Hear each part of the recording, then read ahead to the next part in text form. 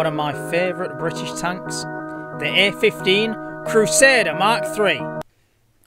The Crusader was built using many components from the A13 Cruiser series, including both the Christie suspension and Liberty engine. To reduce costs and production time, it had a riveted hull, a welded turret, and an extra layer of armour bolted on.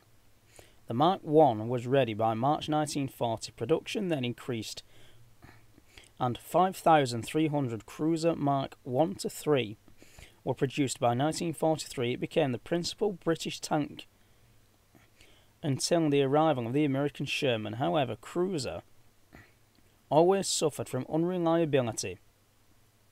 It first saw action in the Western Desert in June 1941, doing well against Italian armour. Although the Germans respected its speed, it was no match for the Panzerkampfwagen III or indeed the heavier German anti-tank guns.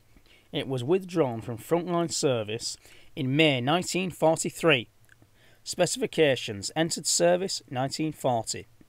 Mark 1 1942 Mark 3 Crew 3 19.75 ton Length 20 foot 8 inches Height 7 foot 4 inches Width 9 foot 2 inches Main armament 1 6 pounder Mark 3 replacing the original 2 pounder Secondary 2 7.92 millimeter Besa machine guns Armour thickness maximum 51 millimeters.